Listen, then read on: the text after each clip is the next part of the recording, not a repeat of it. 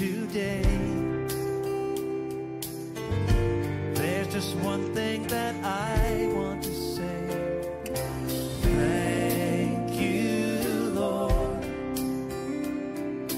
Thank you, Lord, for all you've given to me. For all the blessings that I cannot see.